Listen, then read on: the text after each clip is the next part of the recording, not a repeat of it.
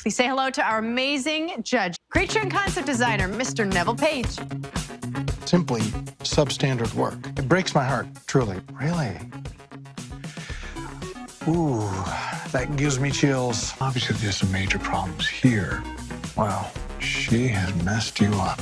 This is a huge misstep. You destroyed it with a camouflage paint job, and it feels like you just didn't care.